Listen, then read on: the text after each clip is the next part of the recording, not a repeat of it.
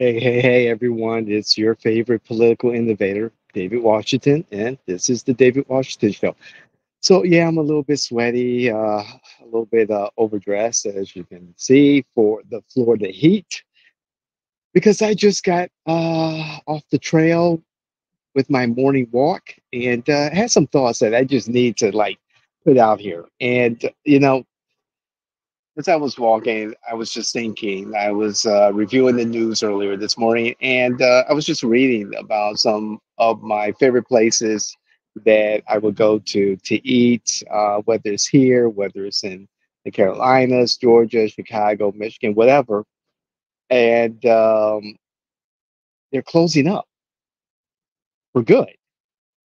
And I'm like, you know, something just ain't right.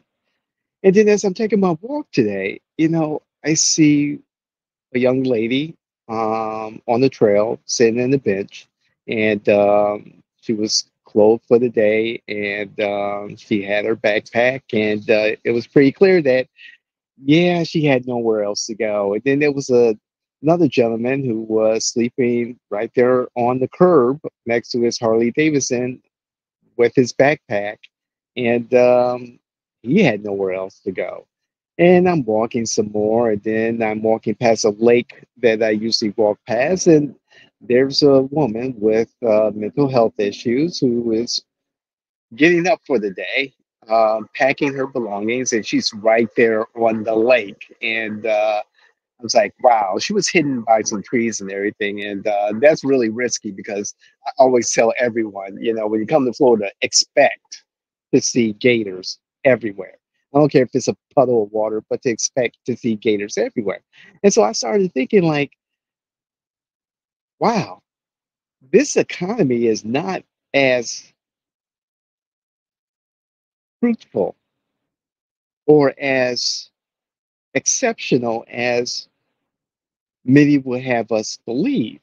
And, you know, there are folks who are excelling. However, I am seeing more and reading more and hearing more of the difficulties of living in today's economy.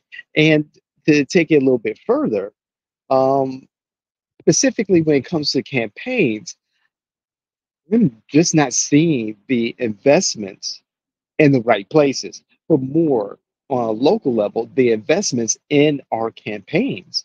And if candidates are not putting in the work to invest in their campaigns. Here at JW, we treat campaigns as startup businesses.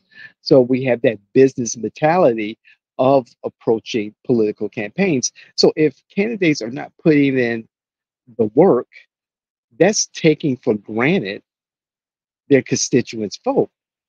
And I have to, you know, put a little bit of the responsibility. I have to put a lot of the responsibility. Let's just call it for what it is. I have to put a lot of the responsibility on us, the voters, because we don't hold not just our electeds, but our candidates who are trying to earn our vote. That's what they're trying to do, earn it.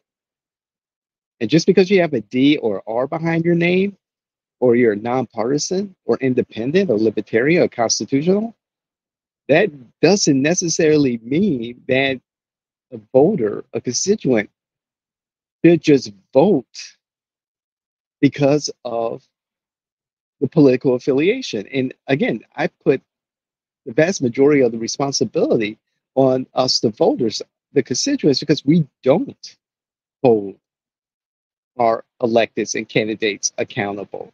We'll go into the voting booth and we'll just vote, you know, straight ticket oh, that person person is a Democrat, I'm going to vote for them just because they're a Democrat or because they check off certain boxes. And that's the that, and, and then we complain later, and, and, and we complain about the other party, and we complain about the you know uh, country going in a direction that we did not want it to go into. Then we talk about you know the homeless situation we talk about our environment falling apart, our infrastructure falling apart. We don't know our neighbors. We can't get to work because of all the traffic and public transportation is shit.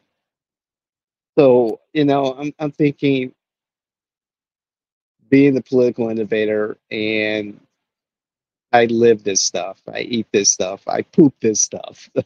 and, you know, it's just very disappointing to see on both sides of the political fence. Uh, there are some campaigns, and the majority of them that I am witnessing, who are just not putting in the work to earn our votes in November.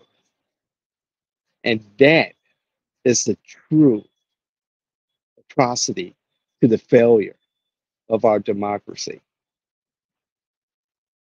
We're just of lazy.